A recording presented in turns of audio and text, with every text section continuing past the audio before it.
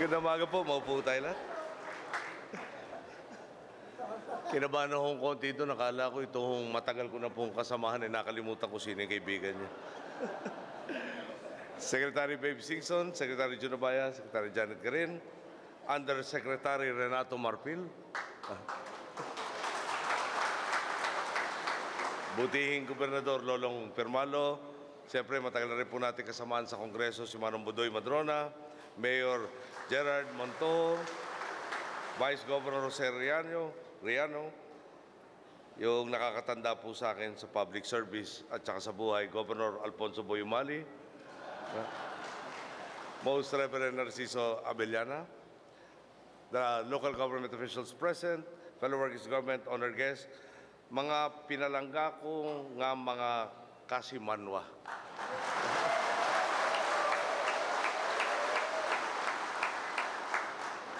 Maayong aga po sa Indong Atanan.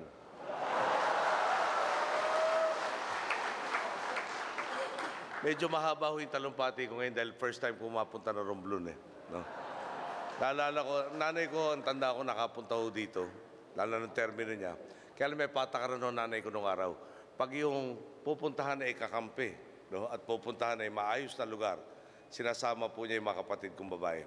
Pag medyo problema po yung pupuntahan, ako po pinapadala. Kaya sa totoo lang ho, yung marmol na mesa ibinigay niyo sa nanay ko ay nasa bahay po namin sa Tarlac. At hanggang ngayon ay maayos na maayos na gagamit pa ho doon. Kaya maraming salamat ulit. Nabanggit ko na nga po, ito po ang unang beses na makabisita ako sa Romblon. Siyempre, excited ako makasama ang mga minamahal nating Romblo Manon. Una-una po siyempre, para personal kayong pasalamatan. Hindi man kasi ako nakapunta dito. Pinagkatiwalaan ako ng inyong lalawigan at binigyan ako ng mandatong maglingkod po sa inyo. At doon po, ulitin ko, taos puso po ang ating pasasalamat.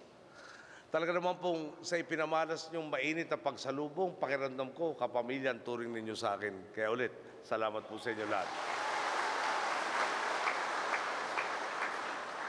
Alam ko pong malalim ang inyong naging pagsuporta sa tuwid dadaan nung halalan pa lang ng 2010 at hanggang ngayon. Ramdam ko pa rin ang inyong tiwala habang pinipitas natin ang mga bunga ng ating agenda ng reforma.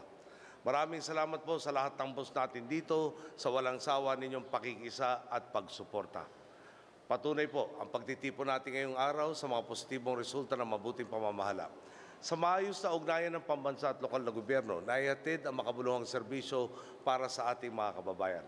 Tingnan po natin ang ininspeksyon natin kaninang bahagi ng Romblon, Sawang, Agpab, Nabat, Provincial Road. Ano po ba ang pakinabang nito? Ang sabi po sa atin, dating isang oras sa biyahe mula poblasyon ng Romblon hanggang barangay Sablayan, mahahati na lang sa 30 minuto. Dagdag na benepisyo din ang hatid nito para sa mga mangingisdang may babiyahe ang kanilang produkto ng mas sariwa sa pamilihan. Isipin na lang ninyo ang kalbaryo ng ating mangingisda. Kung bako-bako ang kalsada, baka ang huli nilang mga sariwang isda wala pa sa kalahati ng biyahe bilasana. Di po malayong mangyari na baka pagdating ng palengke, ang dapat na ibinentang sariwang isda e pangpatis na lang po. Kaya maganda ho na nandiyan si Babe Singson na tinatapos ang lahat ng ating pumakarsada at tulay. Sa pagkakaroon naman ng maayos sa kalsada po, patungong merkado, nasasagad ng ating mga isda ang presyo ng kanilang huli. Bukod dito, mas mabilis at ligtas na rin makakapaglakbay ang mga estudyante papasok sa paaralan. Ang mga kababayan nating magpapatingin sa ospital at ang iba pang serbisyo para sa pag-asenso ng komunidad. May bonus pang good news sa kalsadang ito. Ang inaprobahang budget para dito 61.89 million pesos. Pero dahil sa maayos at tapat na proseso ng bidding at tinatayang ang tinatayang nagagastos lang natin o magagastos natin ay nasa 56.63 million pesos. Sulit na ang benepisyo, nakatipid pa tayo, pwedeng idagdag sa mga proyektong kulang pa na naibanggit ni Manong Budoy kanina. Target po ng ating DPWH pagdating ng Marso ay mapapakinabangan na ito ng mga Romblomanon.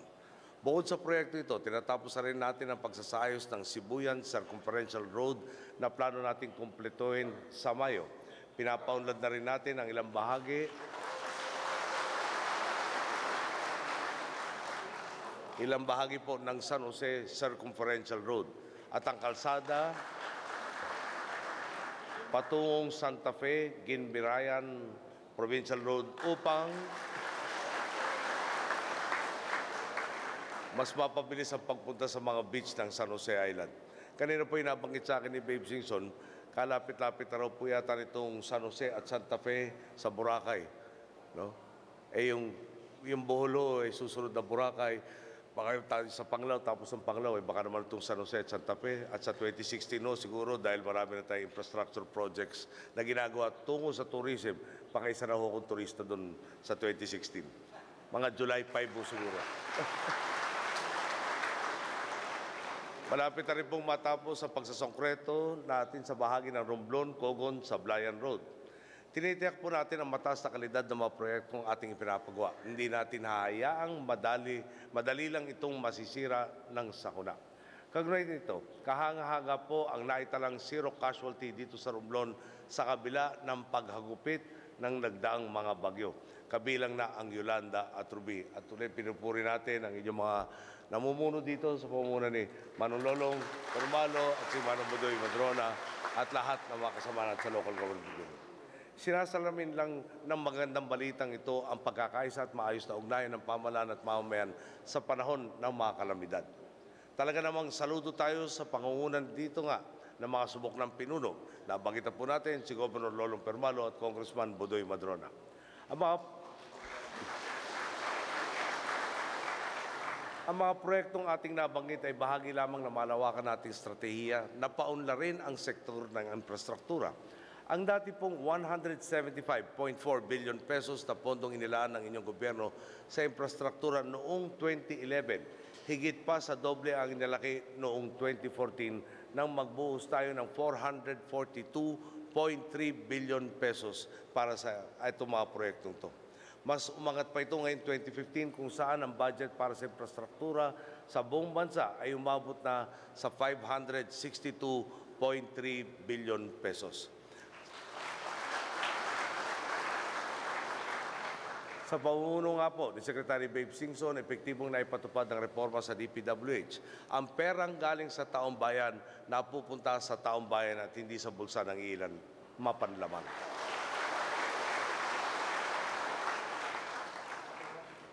Dahil po sa tapat na proseso ng bidding at maayos na implementasyon ng mga proyekto, ang savings ng DPWH mula Hulyo 2010 hanggang Oktubre 2014 umabot na sa halos 39 billion pesos. Tunay pong sa paglaban sa katiwalian ng pagpapatupad ng reforma, nabibigyan tayo ng kakayahan na itaguyod ang malawakang transformasyon sa iba't ibang sektor. Kanina po, inilunsad natin ang marker ng pinaunlad na Romblon Provincial Hospital na ngayon maglilikod na sa 17 munisipyo at 350,000 katao. Nagtayo tayo rito ng mga bagong gusali at nagdagdag ng mga modernong kagamitan para sa mas malawak at mas epektibong serbisyong medikal. Bahagi po ang pagpapaunlad ng ospital na ito ng Health Facilities Enhancement Program ng Department of Health. Mula po Mula po sa taong 2010, ang ipinagkalob nating pondo dito, halos 264 million pesos na. Alam po nyo, kanina nabanggit ni Governor Permalo, meron raw kay dating apat na doktor. Alam ko po itong Romblon, tatlong isla malaki. So para meron pala tayong halos tig-isang doktor kada isla na magtatrabaho ng 365, 24-7. No? Bawal magkasakit, bawal magpahinga, bawal na rin kumain para maasikaso. Yung 25 po, medyo malaki-laki ng tulong. Pero sipin po nyo, no, sa apat na taon at kalahati ng panunungkulan natin, napagtulungan natin madala. No? At makumbisa yung 25 yan. So, nabawasan naman siguro yung pagtitiis ng ating mga boss na dapat naman talaga yan ang pakay natin. Bawasan ang bawasan ng pagtitiis. Siyempre, nariyan din ang ating sitio electrification program. Sa inisyatibang ito, libo-libong sitio sa iba't ibang panig ng bansa ang ating binibigyan liwanag. Halimbawa po, balita sa atin dito sa Romblon, sa target nating 454 na sitio, nasa 315 na ang ating napailawan. Makakaasa po kayo, makukumpleto natin Makukumpleto natin bigyan ng kuryente ang nalalabing mga sityo sa lalong madaling panahon. Alam mo nyo, hingi ako ng konti pa umanhin, konti lang naman ho itong sityo na kailangan natin paalaw, pailawin. Yung puminana ko, mga 36,000 lang pong sityo yan sa buong Pilipinas.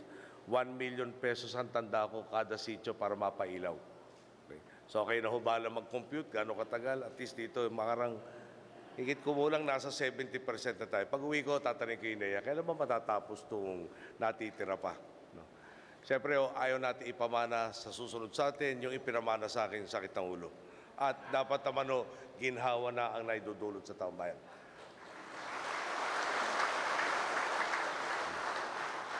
Tuloy-tuloy din ang pagpapaunlad natin sa Tablas Airport sa Alcantara. Pati na rin ang mga pantalan sa Magdiwang, San Fernando, Santa Fe at sa Alcantara muli. Sa agrikultura naman po, nakompleto na natin ang pagkumpuni at rehabilitasyon ng irigasyon sa San Fernando noong taong 2013 at sa Luok noong nakaraang taon.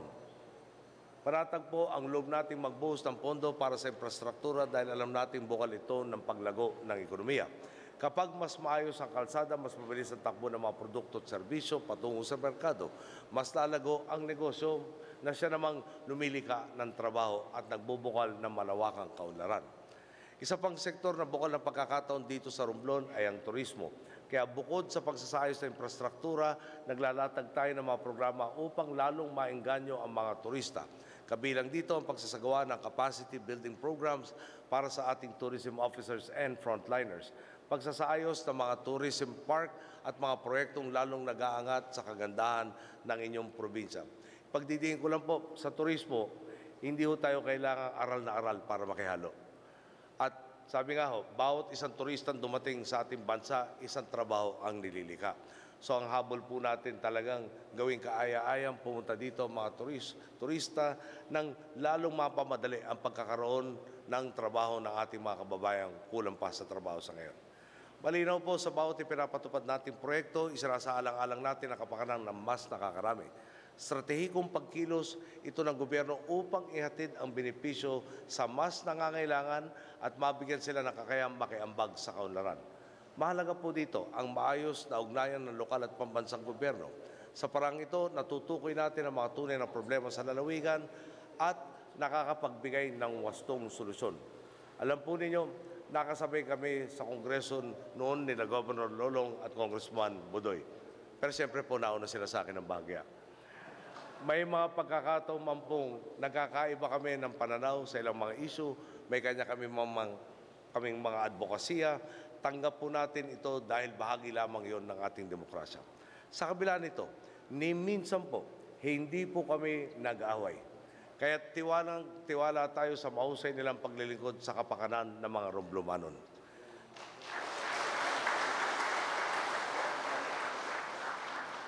Meron ho kasi lalo na ngayon tayo inyong Pangulo, hindi pa ho tayo naupo sa pwesto, inaaway na po ako. Pag hindi ako nagsalita, sila na nagsasalita para sa akin, tapos babatikusin lang yung sinabi lang dapat sinabi ko raw. Pero dito sa mga pinuno natin dito, ulitin ko, never ho kami nag-away. Pwede kami nagtalo tungkol sa mga isyong tinalakay. Pero hindi ho kami nag-away at minsan hindi ho kami nagpersonalan. Siyempre, meron din tayong mga kasama sa serbisyo na hindi man politiko, eh talagang ginagawa na ang makakaya para sa Romblon. Gaya ng nabanggit ko, unang pagbisita ko po dito. Ang alam ko sa tungkol sa Romblon ay base lamang sa mga nakakahalubilo kong Romblomanon. Nariyan nga po, madalas nating makasama ang mga abilidad ninyong kababayan na si Yusek Ray Marfil na ang tunay pong pangalan ay Renato. Bilang journalist, si Ray ang punong abala sa pakikipag-ugnayan sa mga kasamahan natin sa media. Minsan naman, pakiramdam ko, sumasideline siya bilang reporter ninyo sa Malacanang. Lagi kasi niyang bukang bibig ang ganda ng inyong probinsya at lagi niyang ipinapaalala sa akin ang inyong mga pangangailangan. Hanga po tayo sa kwento ng buhay ni Ray. Simple lang ang kanyang pinagmulan, hindi marangya ang buhay noon. Nagsikap ang kanyang mga magulang at tinulungan niya ang sariling marating ang kinatatayo niya ngayon. Bilang bunso sa limang magkakapatid, tinutulungan niya ang amang magsasaka sa pag-aalaga ng kanilang kalabaw. Ang kwento pa sa akin, para raw may maulam, nangingisda pa siya. Nang magtungo naman sa Maynila para sa koleyo, hindi inalintana ni Ray na mag-working student. na magtapos namang naging kilalang periodista at komentarista at ngayon po ay TV personality na rin. Kasama natin siyang naglilingkod sa pamahalaan at sa bayan.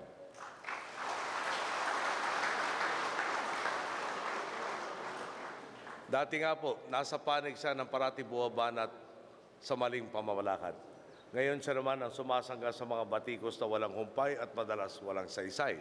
Ang sabi nga niya sa akin, pinakamadali palang gawin ang magreklamo, pinakamahirap naman ang isulong ang tama.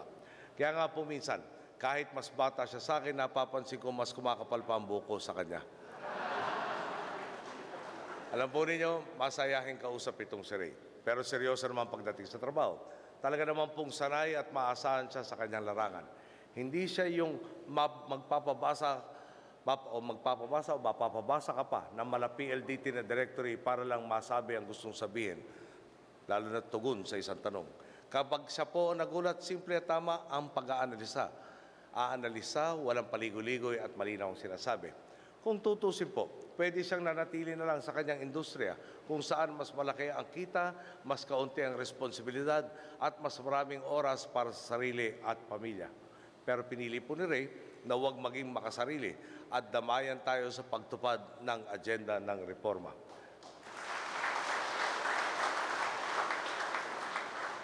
Alam naman niyo po, meron tayong tinatawag na sa ngayon, ang estilo ng pangangampanya, pamumulitika ay tinatawag lang media-centric.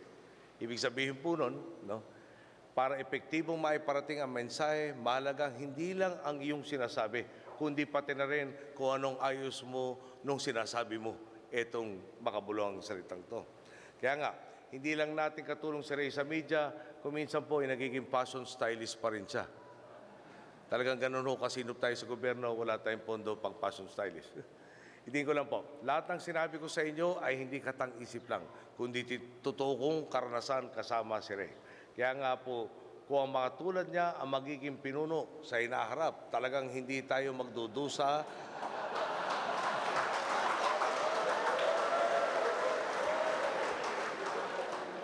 sa kakayahan niyang isulong ang inyong kapakanan at tangkanlaran ng inyong pong lalawigan o maski ng ang kalakhang Pilipinas.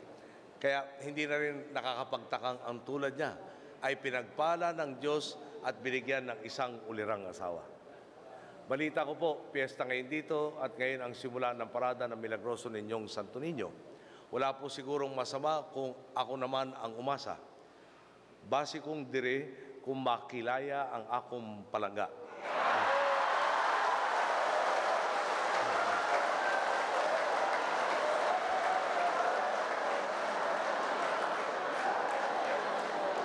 Kaya lang mo, mga, kailangan mo mangyari yun within an hour, mga isang oras na lang ako dito. Bago po ako magtapos, balikan lang po natin kung saan tayo nagumpisa.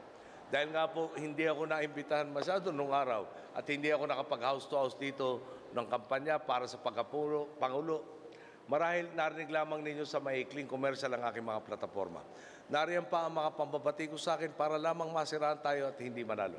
At hindi man po natin kapartido ang ilang pinuno ninyo dito, tinulungan at pinagkatiwalaan pa rin ninyo akong isulong ang makabuluhang pagbabago.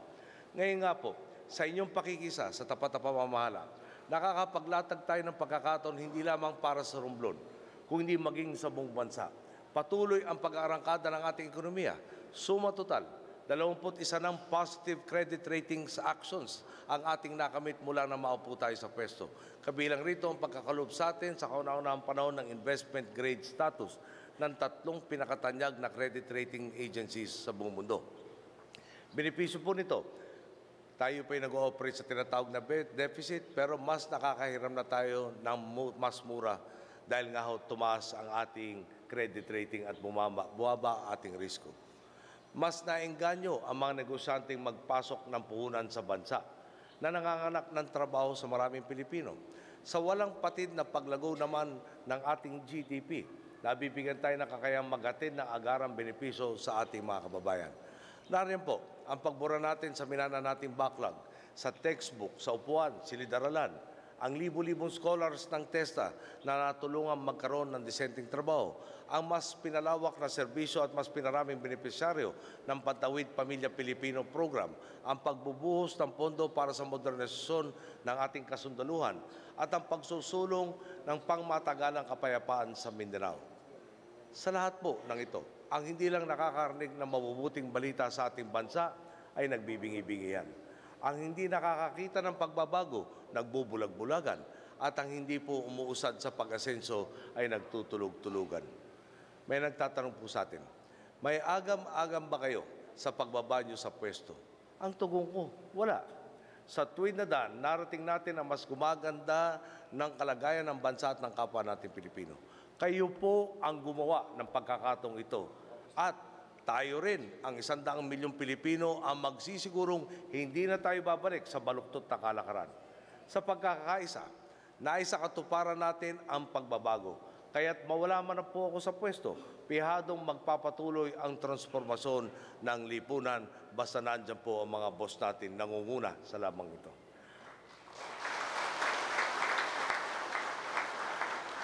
Lahat po ng mga tagumpay natin sa tuwid na daan sa nakalipas na mahigit apat na taon ay hindi natin nakamit sa isang iglap lamang. Bunga ito ng ang walang patid na malasakit, tiwala at pag-aambagan. Ngayon po, ang dating iniisip na imposible nangyayari na. Ang dating mga naghahari-harian at umaabuso sa pwesto, pinapanagot na. Ang dating mailap na pagbabago, tinatamasa na. Sa nalalabing panahon natin sa panunungkulan, patuloy tayong maglilingkod sa ating mga boss ng taong bayan. At kung sa tingin po ninyo, tama ang tinatahak nating landas ngayon, nasa sa inyo pong mga kamay ang pagsigurong magpatuloy ang tuwid na daan miski matapos ang ating termino.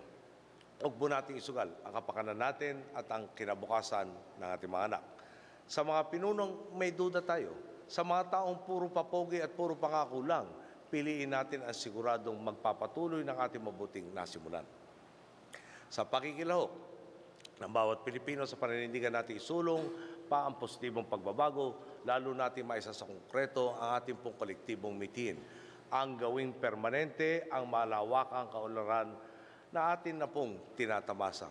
Ulitin ko lang po, dito po sa Romblon, talagang panatag lalo ang kalooban ko. Hindi man tayo nagtagpo, palagay ko tama yung pagpili nyo noong 2010. At yung pagbabago dito, siguro naman pwede nyo talagang tingnan ng sarlaben at sabihin, kami ang dahilan ng pagbabagong to. Nagawa na po nyo, walang dahilan na hindi po nyo maulit to. Magandang araw po, maraming salamat po sa inyo.